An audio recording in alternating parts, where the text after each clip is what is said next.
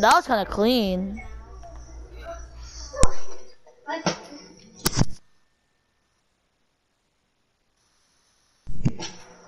See, that's what I mean, Epic.